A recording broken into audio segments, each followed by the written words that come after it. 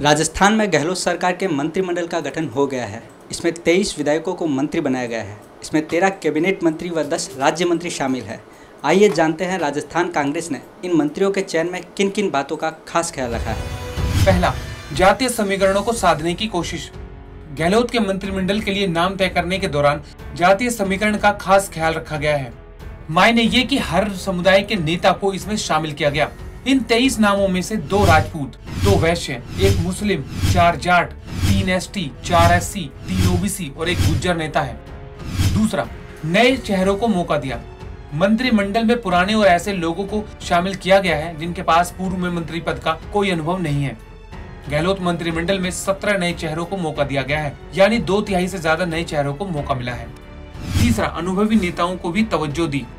राजस्थान के नवीन मंत्रिमंडल में अनुभवी विधायकों को तवज्जो दी गई है। Doctor B D Kalla, Shanti Dhariwal Prasadi Lal Meena, Lalchand Kataria, master Bhanwar Lal जैसे तजुर्बेदार नेता अब मंत्री बन चुके हैं। चौथा, समर्थन देने वालों को भी मंत्री बनाया। गहलोत सरकार ने कांग्रेस को समर्थन देने वाली अन्य पार्टियों के नेताओं को भी अपनी नवगठित मंत्रिमंडल में समर्थन दिया है।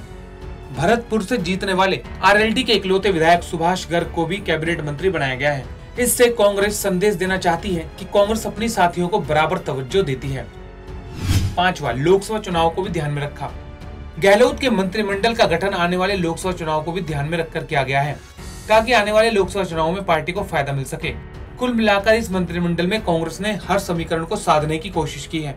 खबर अपडेट की रिपोर्ट।